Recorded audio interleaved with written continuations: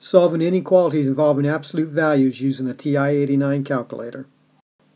We're going to solve a absolute value inequality greater than or equal to another number. First we're going to do it manually, then we'll plug it into a TI-89 calculator. First thing you want to do is isolate the inequality. So we'll take a minus 2 on both sides. That will give us 5 times the absolute value of 5x minus 10 is greater than or equal to 25.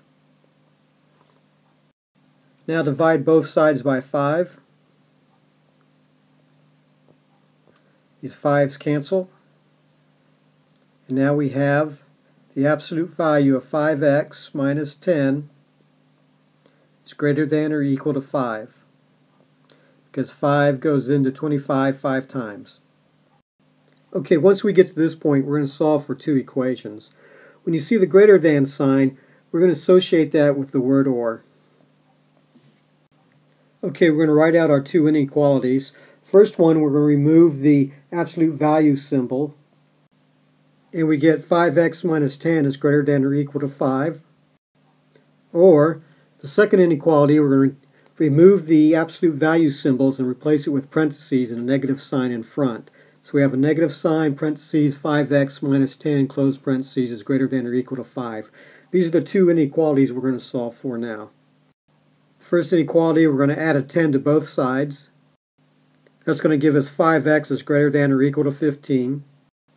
Divide both sides by 5.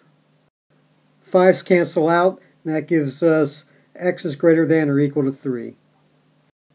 The second inequality, we're going to distribute the uh, negative sign. That's going to give us negative 5x plus 10 is greater than or equal to 5. Subtract a 10 on both sides. That gives us a negative 5x is greater than or equal to a negative 5. Now divide both sides by a negative 5. When you divide or multiply by a negative, you have to change the direction of the inequality. So that's going to give us x is less than or equal to 1.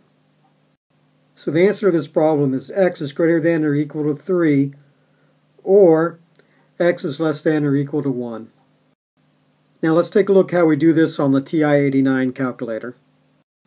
Okay, our original inequality was 2 plus 5 times the absolute value of 5x minus 10 is greater than or equal to 27. To enter this inequality into the calculator, first you're going to hit F2. Then this drop-down box drops down. And you want to choose this first one here, Solve, by hitting the Enter key on the calculator. There it is. Now start typing in your equation. 2 plus 5 times, there it is, now we have to input the absolute value part. To input the absolute value part, we have to go to second math.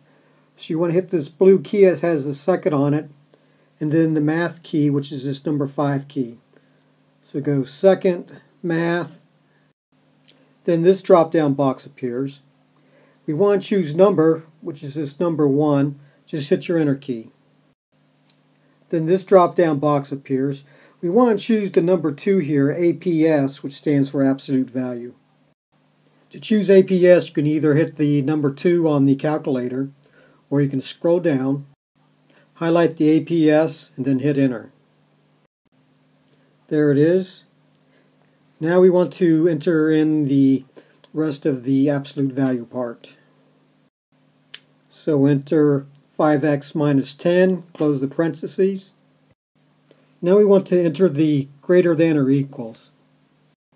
To do that, go to second, math, hit the number 5. This drop box drops down, and we want to go down here to number 8, test. Either hit the 8 on the calculator or scroll down to highlight test and hit enter. I'm going to scroll down to number 8, test, and hit enter. Then this drop box pops up this is where you're going to get all your inequality symbols. So for this case, we want the greater than or equal, which is number 3. So you either hit number 3 on your keyboard or highlight number 3 and hit enter on the calculator. I'm going to scroll down to the number 3, greater than or equal, and hit enter. And there it is, greater than or equal. Now finish typing in the rest of the inequality. Greater than or equal 27. Now you're going to have to put a comma and an X and close parentheses. This lets the calculator know that we're going to be solving for X. Now just hit the enter button on the calculator to solve this inequality. And here it is. Here's our inequality, and here's our answer.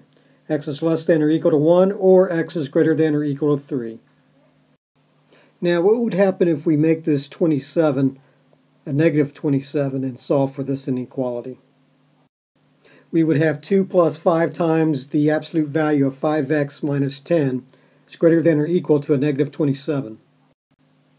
Let's solve this. We'll subtract 2 from both sides. That'll give us 5 times the absolute value of 5x minus 10 is greater than or equal to negative 29. Divide both sides by 5. These 5's cancel. So we have the absolute value of 5x minus 10 is greater than or equal to negative 29 fifths whatever value we put in here for x, we're always going to get something greater than this negative number because this absolute value is always going to return a positive number. So if you plug in a negative 27 in the calculator for this inequality and hit enter, you're going to get the answer true, which means that any number you put in for x is going to be greater than the negative 27. That's it. Uh, I did another video with, I did a, a absolute value equation. I'll put a link to that video below. And I have another video where I do a absolute value inequality with a less than or equal. And I'll put a link to that video below also. If you like this video, please give it a thumbs up.